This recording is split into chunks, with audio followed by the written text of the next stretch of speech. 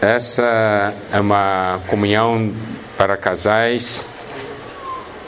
Nós esperamos que a palavra de Deus possa trazer luz, revelação sobre o que está acontecendo nos últimos tempos e, consequentemente, o cuidado que todos nós devemos ter em relação à nossa família. Em 2 Timóteo, capítulo 3, está escrito, versículo 1: Sabe, porém, isto: nos últimos dias sobrevirão tempos difíceis. No versículo 2, a parte inicial diz: Pois os homens serão egoístas. Egoístas. No versículo 3, primeira palavra de desafeiçoado, significa sem afeição. Essa é a característica dos tempos finais. Os homens serão egoístas, significa cada um vai dar atenção só a si mesmo. E eles perderão realmente a afeição por outros. Vamos dar uma olhada no último livro do Antigo Testamento, o livro de Malaquias. Ó oh, Senhor Jesus, amém. Senhor Jesus. Senhor Jesus. Malaquias, vendo os dois últimos versículos do Antigo Testamento. Malaquias capítulo 4, versículos 5 e 6. Eis que eu vos enviarei o profeta Elias antes que venha o grande e terrível dia do Senhor. Ele converterá o coração dos pais aos filhos e o coração dos filhos a seus pais, para que eu não venha e fira a terra com maldição. Esses dois versículos, esses dois últimos versículos do Antigo Testamento, revelam para nós algo que vai acontecer no final dos tempos. Porque o versículo 5 fala do grande e terrível dia do Senhor. Grande e terrível dia do Senhor. E aqui é descrito uma situação que Deus quer mudar.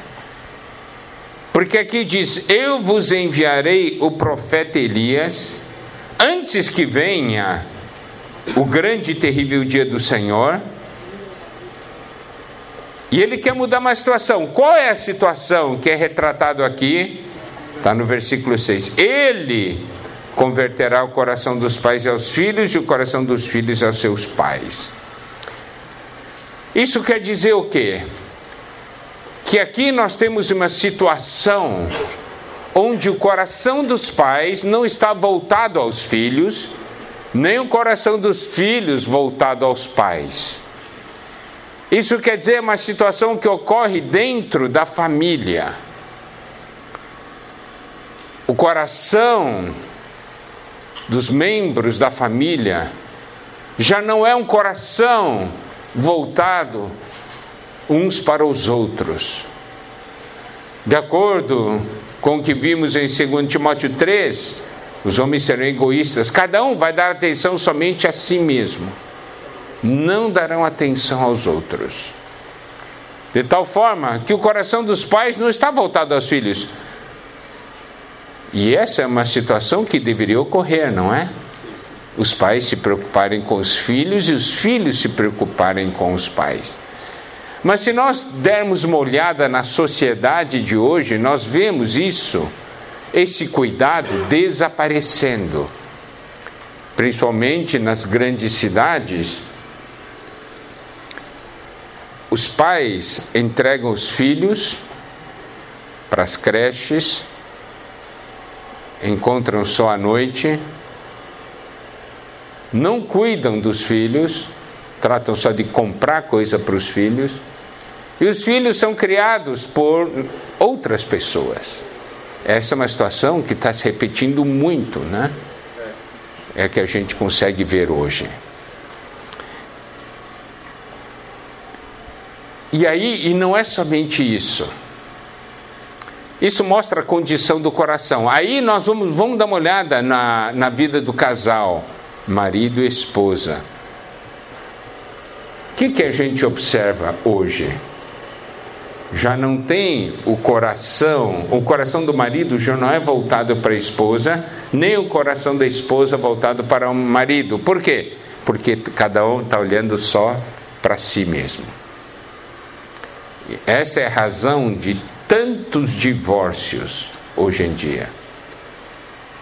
As pessoas se casam, depois, um ano, separam.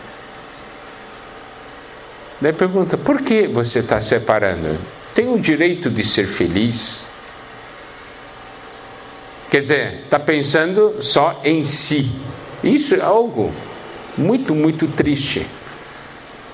E a Bíblia mostra que isso vai acontecer no final dos tempos e está acontecendo. E a grande pergunta é: como está o nosso coração? Nosso coração também está sendo influenciado por isso ou não? Aqui diz: Ele converterá o coração dos pais dos filhos. Por que, que Deus está enviando o profeta Elias? Para mudar essa situação. Isso quer dizer que Deus quer mudar a situação dentro de casa. converter o coração dos pais filhos e o coração dos filhos a seus pais, para que eu não venha e fira a terra com maldição. Isso quer dizer o quê? Que essa condição nas famílias faz com que Deus venha então ferir, castigar essa terra com maldição. É uma situação que Deus não quer e Deus detesta. E aí nós precisamos então perceber que é isso que está acontecendo hoje. E precisamos dar uma olhada no nosso coração. Coração dos cônjuges. Coração de um cônjuge está voltado para o outro ou não? Coração dos pais está voltado aos filhos ou não? Coração dos filhos está voltado aos pais ou não? As coisas hoje realmente são muito, muito, muito difíceis e muito, muito tristes. E ainda vamos dar uma olhada então em Mateus 19. Senhor Jesus. Senhor Jesus. E é por causa desse tipo de sentimento que ocorre muita separação. E hoje, se você olhar as razões das separações, tem mil razões. Mil razões. E em Mateus capítulo 19, versículo 3, temos o seguinte: Vieram ele Alguns fariseus experimentavam, perguntando: é lícito ao marido repudiar sua mulher por qualquer motivo? Aqui é uma pergunta que os fariseus estavam fazendo para o Senhor Jesus: é lícito? Pode se separar por qualquer motivo? Hoje, se separa por qualquer motivo. Esse é o fato. Então, essa pergunta é muito pertinente para os dias de hoje. E nós temos então que olhar a resposta do Senhor Jesus para essa pergunta dos fariseus. Versículo 4: Então respondeu ele: Não tendes lido que o Criador, desde os princípios, os fez homem e mulher? E versículo 5, só a primeira frase: E que disse. Aí, olha só como é que foi a resposta do Senhor Jesus. Não tem deslido, significa o quê? Volte para a palavra de Deus.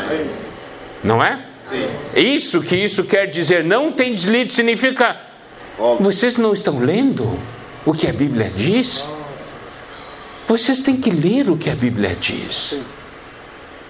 Vocês vêm fazer uma pergunta para mim e a Bíblia tem a resposta. E é isso que nós precisamos então dar atenção. O Senhor nos direciona para a Bíblia, para a palavra de Deus. E o Senhor, Jesus diz o seguinte: que o Criador desde o princípio os fez homem ou mulher e que disse. Então, quando nós nos voltamos à Bíblia, nós temos que dar atenção ao que o Senhor fez e ao que o Senhor disse. Essa é a indicação que o Senhor Jesus nos dá, né? Você tem que ler. Ler o que? O que o Senhor fez e o que o Senhor disse. Isso aqui é muito importante para todos nós. Nós precisamos aprender a perceber esses itens que o Senhor Jesus menciona. Daí, vamos dar uma olhada, então, baseado no que o Senhor Jesus falou, vamos para Gênesis 1. Porque ele diz assim: que o Criador desde o princípio. Então, nós temos que voltar para o princípio. Então, essa é a visão que o Senhor Jesus nos dá e essa é a resposta que o Senhor Jesus nos dá. Então, vamos dar uma olhada o que o Senhor Jesus, o que o Senhor ah, fez e disse. Ah, no versículo, capítulo 1, versículo 26 de Gênesis, diz assim: Também disse Deus: façamos o homem a nossa imagem. Tá certo? Sim. Conforme a nossa semelhança. E no versículo 27, daí diz: Criou Deus, pois o homem, a sua imagem, a imagem de Deus o criou, homem e mulher os criou. Então, vamos ver o que o Senhor fez. Aqui, Deus estava falando o que ele iria fazer. Daí ele disse: façamos o homem a nossa imagem conforme a nossa semelhança.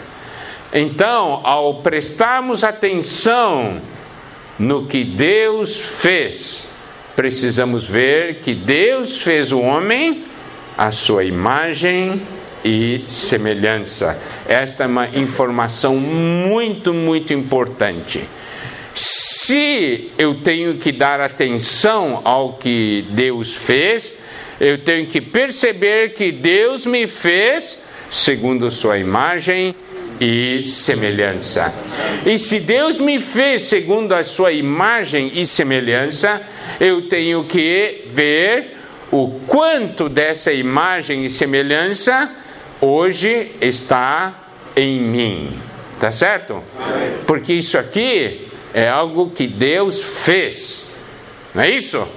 E ainda mais aqui diz como que ele criou homem e mulher os criou. Tá certo? Isso é o que Deus fez.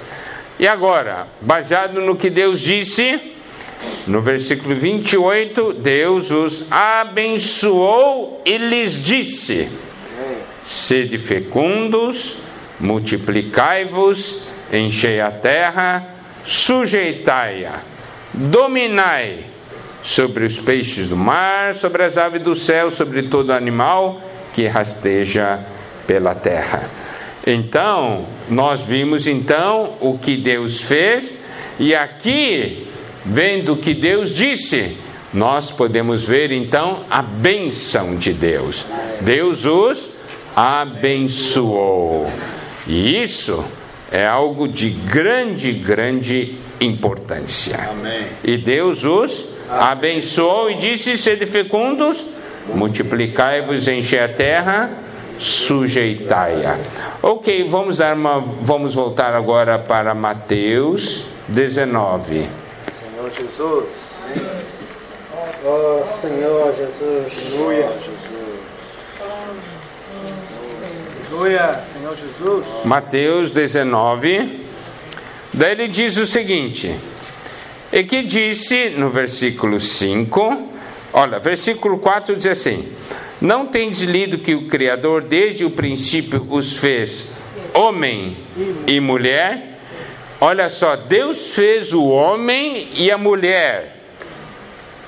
Daí o versículo 5 diz: E que disse: Por esta causa deixará o homem pai e mãe e se unirá à sua mulher, tornando-se os dois uma só carne.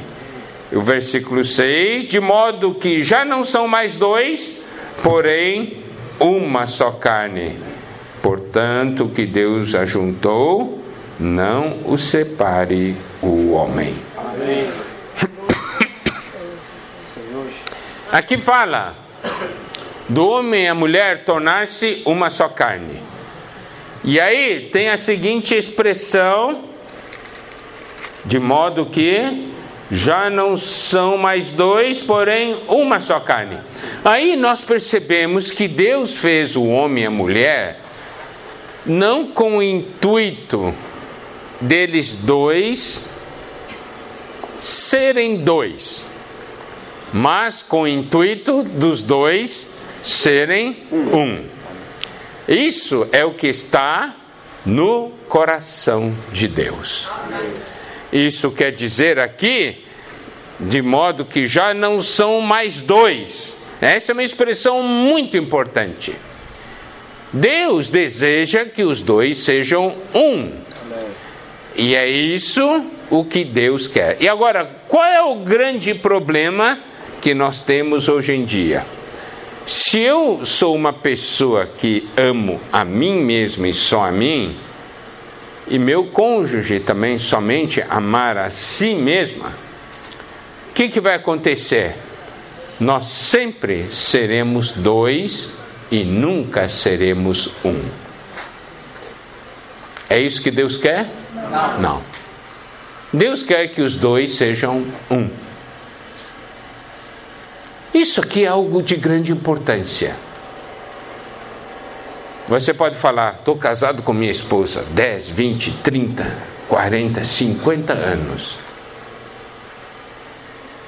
E Deus então vai fazer uma pergunta: depois de tantos anos, vocês são dois ou são um? Se continuarem sendo dois, não cumpriram o plano de Deus. Mas se os dois se tornarem um, aí sim se são de acordo com o plano de Deus. O que quer dizer dois se tornarem um?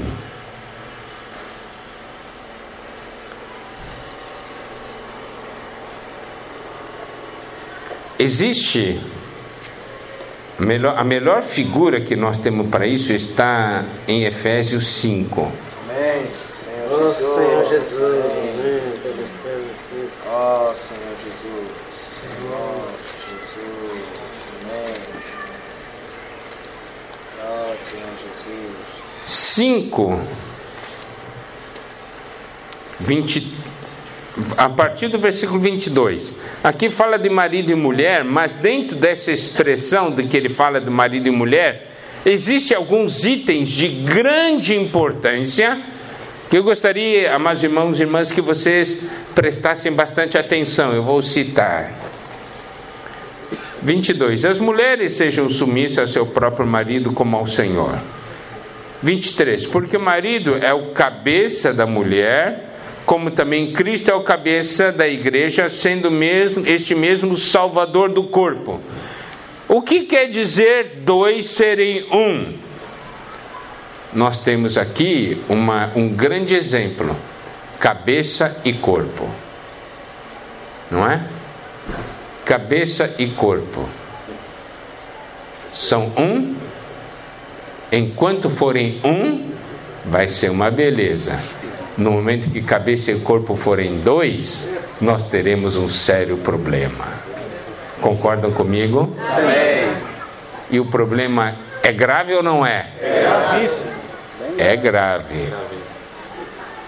Mas hoje as pessoas acham que é grave? Não.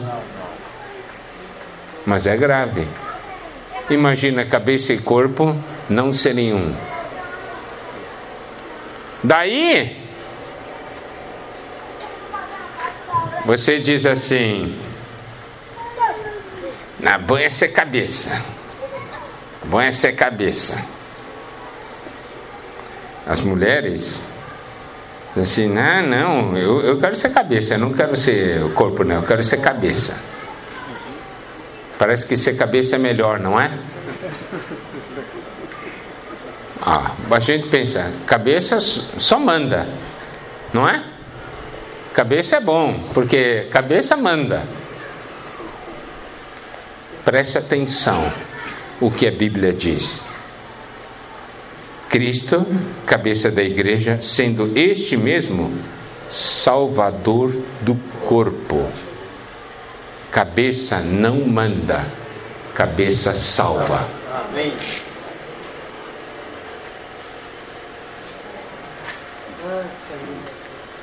O cabeça não é para mandar no corpo, o cabeça é para salvar o corpo. Eu não estou dizendo que não deve mandar, mas a, quando ele manda, ele manda para que o corpo seja salvo. Significa o quê? É fácil ser cabeça? Não. Não é fácil. Ser cabeça segundo o mundo é fácil, é, dá ordem, blá, blá, blá. mas de acordo com o que a palavra de Deus diz, não é fácil, porque cabeça é salvador do corpo. E ainda mais, como porém a igreja está sujeita a Cristo, assim também as mulheres sejam tudo submissas a seu marido tudo isso dentro do mesmo princípio. Essa submissão é para receber uma salvação, entendeu? Por isso que tem uma ação das duas partes. Não é cada parte olhando para si. Por isso que a importância dos corações se converterem. Compreenderam? Se meu coração está voltado só a mim, só penso em mim. Eu não quero salvar ninguém. E também, se eu penso em mim, também não quero obedecer ninguém, eu só penso em mim. Mas se nós temos o coração voltado um ao outro, nós percebemos que isso aqui é nossa salvação. Versículo 25: Maridos, amai vossa mulher, como também Cristo amou a igreja e a si mesmo se entregou por ela. Esse se entregar, a Bíblia mostra vários lugares, é dar a vida. Está vendo? Cabeça dá a vida pelo corpo. Isso é ser um. Cabeça e corpo são um. Resultado: cabeça salva o corpo, cabeça dá vida pelo corpo. Se entrega por corpo. 26 para que a santificasse, tendo a purificado por meio da lavagem da água pela palavra. Significa que existe uma ação aqui, uma ação de salvação, uma salvação, uma ação de aperfeiçoamento.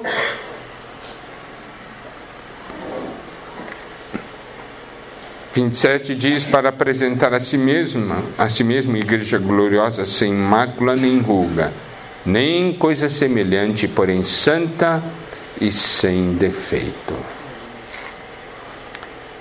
28 diz: Assim também os maridos devem amar sua mulher como ao próprio corpo. Quem ama a esposa, a si mesmo se ama. Aí nós temos uma realidade que são um, não é? Quando estou amando meu cônjuge, eu estou amando a mim mesmo. Porque nós somos um. Porque se meu cônjuge está alegre, estou alegre. Se meu cônjuge está triste, estou triste. Se ela sente dor, eu também sinto dor. Não é assim? Tá vendo como é que as coisas são? É unidade, unidade. Os dois são um. 29. Ninguém jamais odiou a sua própria carne, antes alimenta e dela cuida, como também Cristo faz com a igreja, porque somos membros do seu corpo.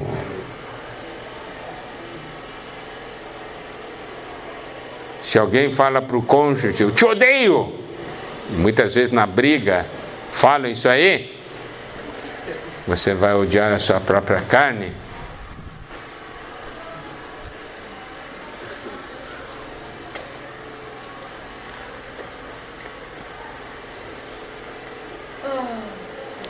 Então, vamos realmente dar atenção ao que a Bíblia diz nesse aspecto. Os dois se tornarem um. Vamos voltar para Mateus 19. Oh, Senhor. Senhor Jesus. Ó oh, Senhor Jesus. Amém. Mateus 19. Ele diz assim: Por esta causa deixará, o versículo 5: Por esta causa deixará o homem pai e mãe, e se unirá sua mulher, tornando-se os dois uma só carne. Olha, como nós sabemos se um determinado versículo na Bíblia tem grande importância. Claro, todos os versículos são importantes, mas alguns versículos têm uma grande, grande importância. É pelo número de vezes que tal versículo é repetido, né? Bom, essa expressão, por essa causa deixará o homem pai e mãe e se unirá a sua mulher, tornando-se os dois uma só carne. Primeiro, essa, essa é uma coisa muito importante, por quê? Porque em Gênesis, Gênesis capítulo 2. Senhor Jesus. Aleluia. Senhor Jesus. Senhor Jesus. Oh, Senhor Jesus. Amém. Senhor Jesus versículo 24. Por isso, deixa o homem pai e mãe e se une a sua mulher, tornando-se os dois uma só carne. Aqui em Gênesis 2 não nos é mostrado de uma maneira muito clara quem foi que falou isso. Mas em Mateus 19, vamos voltar para Mateus 19, nos é dito quem falou isso. Ah, versículo 4 diz que o Criador desde o princípio os fez homem e mulher e que disse, foi o Criador que disse, então foi Deus que falou. Então preste atenção, em Gênesis 2, Deus falou. Aqui em Mateus 19, o Senhor Jesus falou, porque o Senhor Jesus mencionou esse versículo, não é verdade? E quando nós olhamos também em Efésios capítulo 5, baseado no princípio da origem da Bíblia, nós vemos é o 5, 30, Efésios 5,31, foi o Espírito Santo que falou. Tá certo? Então, observa: o Pai, o Filho e o Espírito falaram isso. Então, é ou não é importante? É, é muito, muito importante. Deixará o homem pai e mãe e se unirá à sua mulher. Aqui é algo muito, muito interessante. Porque aqui fala que o homem deve deixar pai e mãe e unir-se à sua mulher. O homem é que traça a linha, né, da família e da descendência. Quando diz que o homem deve deixar pai e mãe e se unir à sua mulher, significa que cada vez que se forma um novo casal, nós temos um novo início. É um novo início. E o relacionamento do casal deve ser um relacionamento diante de Deus, com um novo começo, porque eles vão constituir uma nova família. Daí se pergunta, mas e a mulher? Nessa parte, nessas porções, não fala da mulher. Mas tem outra porção da Bíblia que fala da mulher, que é Salmo. Senhor Jesus. Senhor Jesus. Ah, Senhor Jesus. Ah, deixa eu ver. Aqui, Salmo 45, versículo 10.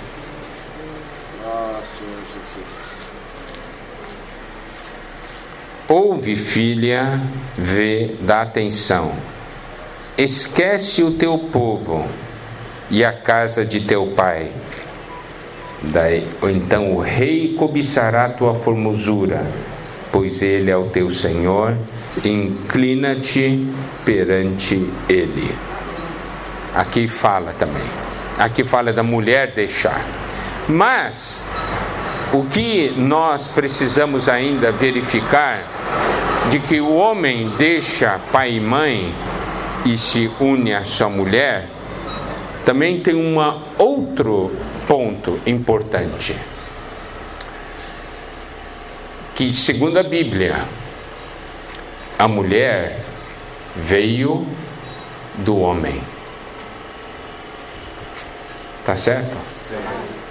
A mulher veio do homem. Então ela não tem que deixar nada, porque ela veio do homem. Tá? Isso aqui tem outras, muitas outras implicações espirituais, mas nós não vamos entrar, isso aqui não é o item da nossa comunhão. O que eu quero aqui dizer é que Deus fala para os dois se tornarem um, tendo um novo início não que o homem não deva mais ter relacionamento com seus pais, mas o laço que une a sua mulher é mais forte do que os laços que une aos pais. Porque ali o que Deus quer é que homem e mulher se tornem um. Aqui não fala se tornem uma só carne. Aqui não fala do filho tornar um, uma carne com pai e mãe. Compreenderam? O princípio é diferente, né?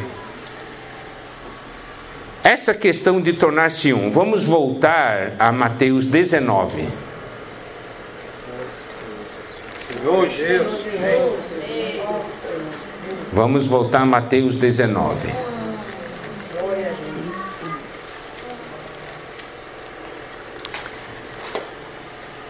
no versículo 6: De modo que já não são mais dois, porém uma só carne. Portanto, o que Deus ajuntou, não o separe o homem. Deus ajuntou, significa toda ação de Deus é para os dois se tornarem um. Certo? E nunca separar, nunca para que um se torne dois. Ou que dois permaneçam dois. Deus ajunta. Deus quer que os dois se tornem um. A ação de Deus é toda nesse sentido. Amém. Totalmente nesse sentido.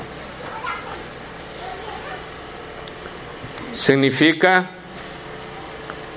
você brigou com sua esposa, você está bravo, vai orar a Deus, reclamar com Deus. Ah, minha esposa, Deus vai ouvir. O que, que Deus depois vai falar para você? Eu quero que vocês dois se tornem um. Esse é o princípio de Deus. Eu ajunto. Eu não separo. Então, de vez em quando, a gente ouve algum irmão, irmã casado que vem ter comunhão. Não, eu já orei. Deus quer que eu separe, sim. Deus quer que eu separe.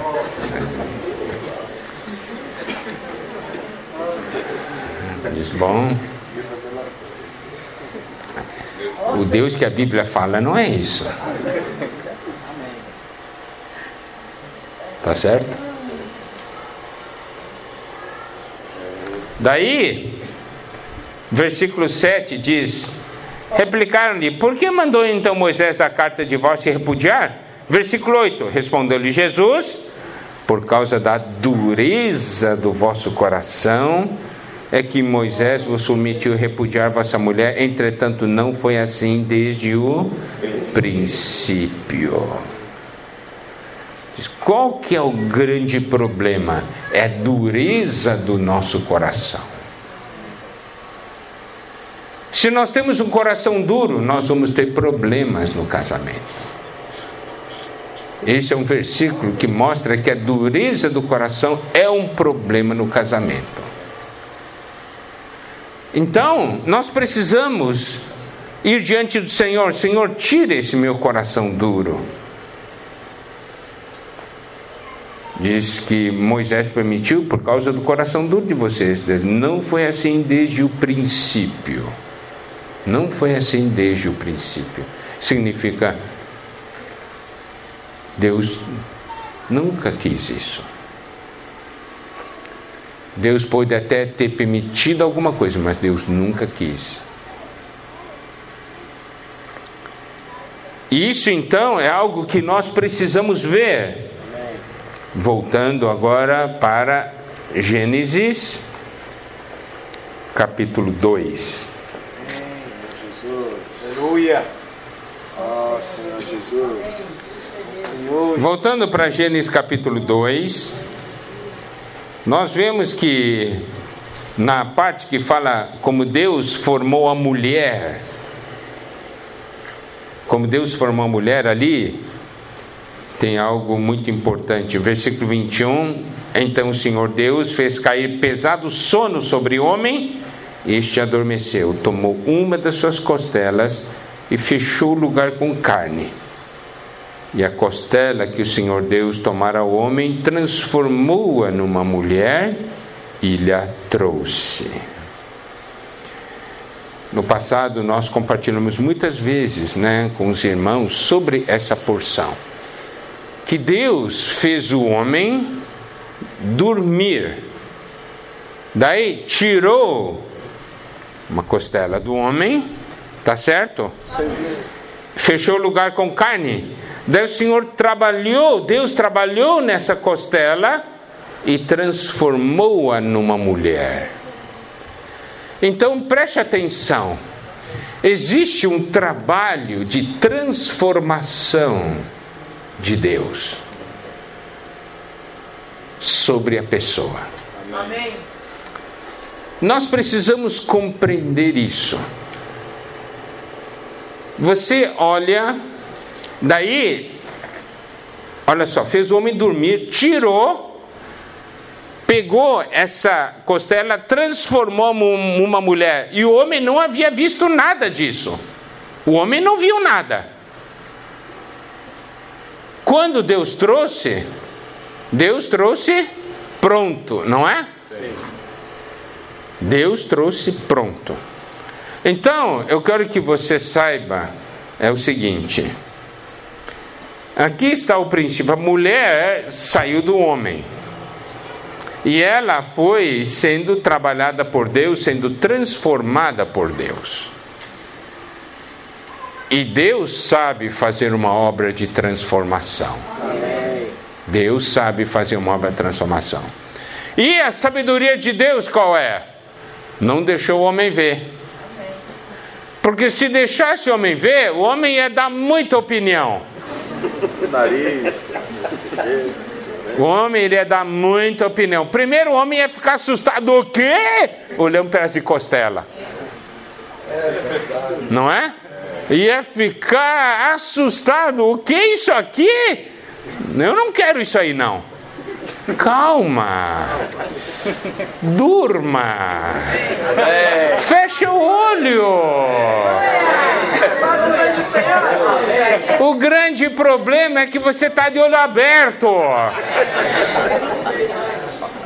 Vamos mandar aqui a boca. Tem que fechar o olho e deixar Deus operar.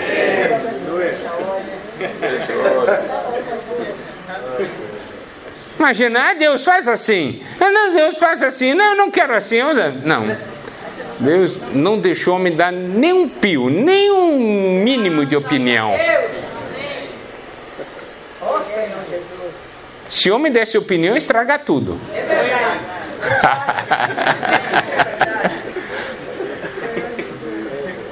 então, o homem tem que dormir. Tem que dormir. Deixar Deus trabalhar.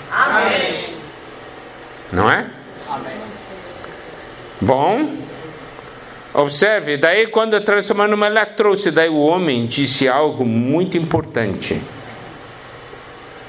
Esta afinal é osso dos meus ossos e carne da minha carne. Chamar-se a varoa, por quanto do varão foi tomada. Tomada do varão. Olha só, aqui mostra que Adão, a Bíblia não diz como, mas Adão teve a revelação que uma parte dele tinha sido tirado. E essa parte tinha osso e carne. Observa, Deus não tirou só carne, Deus não tirou só osso. É osso e carne. Aí, Adão percebeu: é osso dos meus ossos e carne da minha carne. Aí também tem que perceber uma coisa. Você olha para sua esposa e diz, mas tá cheio de defeitos. Diz, claro, saiu de você.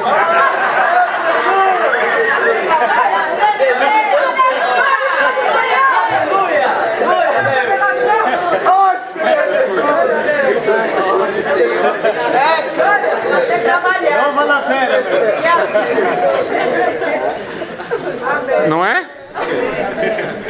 Adão disse: Isso aqui saiu de mim, é osso dos meus ossos, é carne da minha carne.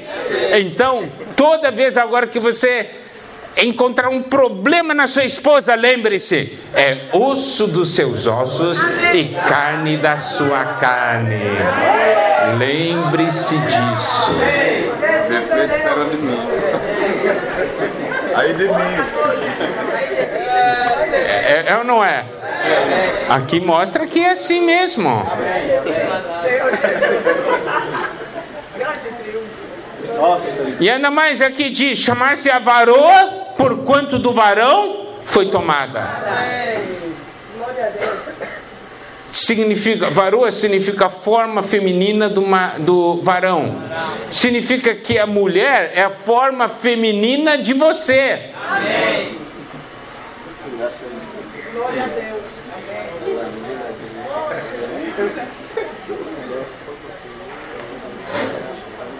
Não é maravilhoso?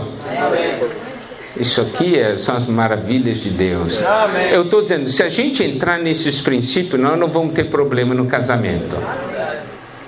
Por isso que o Senhor disse, ó, não, vocês não leram, nós precisamos ler o que Deus fez e o que Deus disse, não é?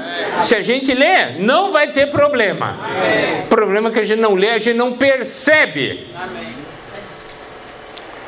E agora, um outro item de grande importância é o versículo 25. Um e outro, o homem e sua mulher, estavam nus e não se envergonhavam.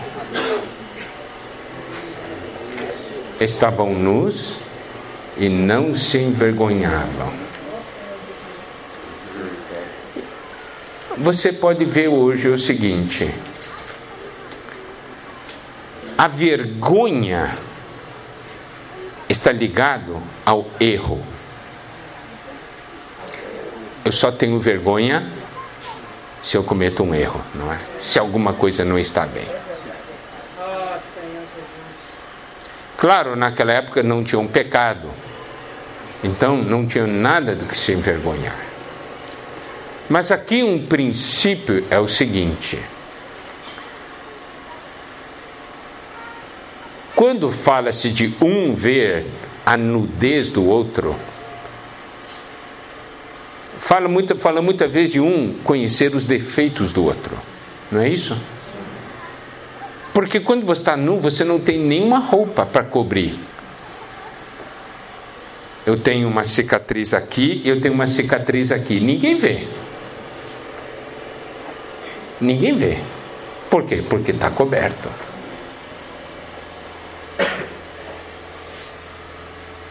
Aqui tem um princípio muito importante. Marido e mulher não devem ver um o defeito do outro. Tá certo?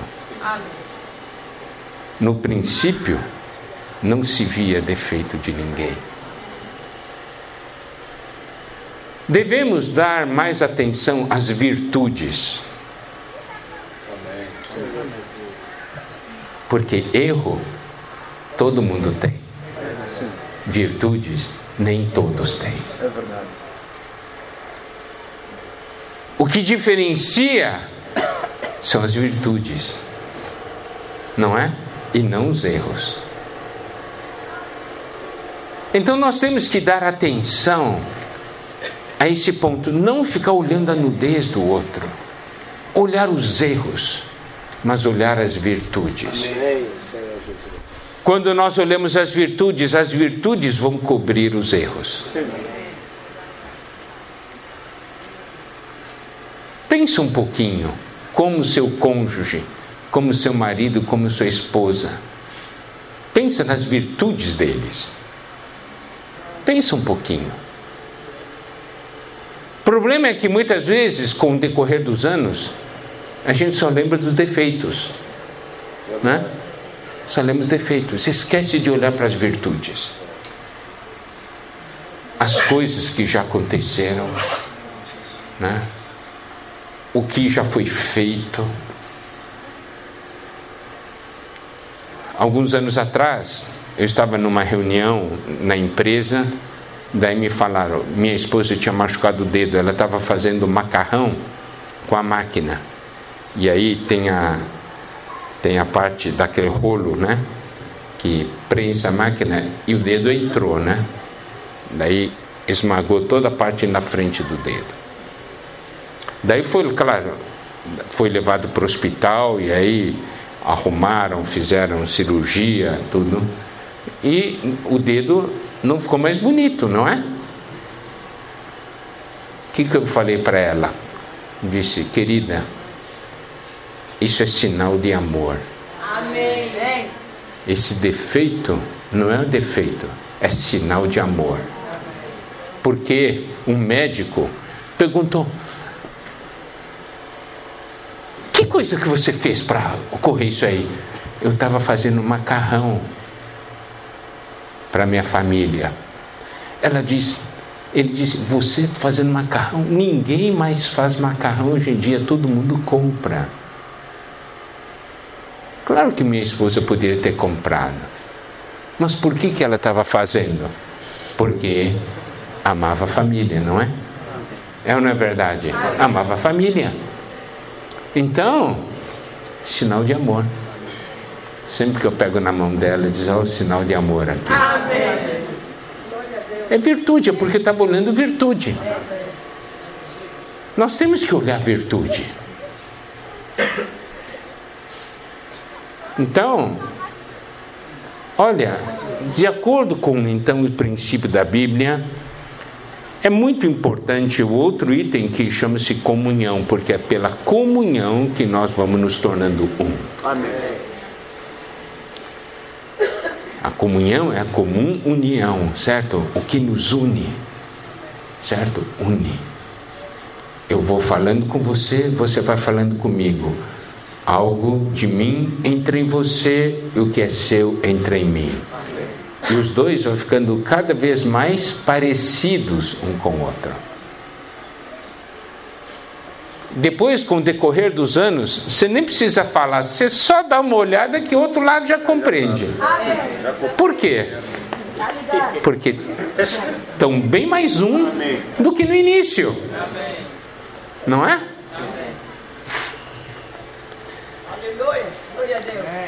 É muito interessante que uma vez, eu, ainda lembrando com minha esposa, né?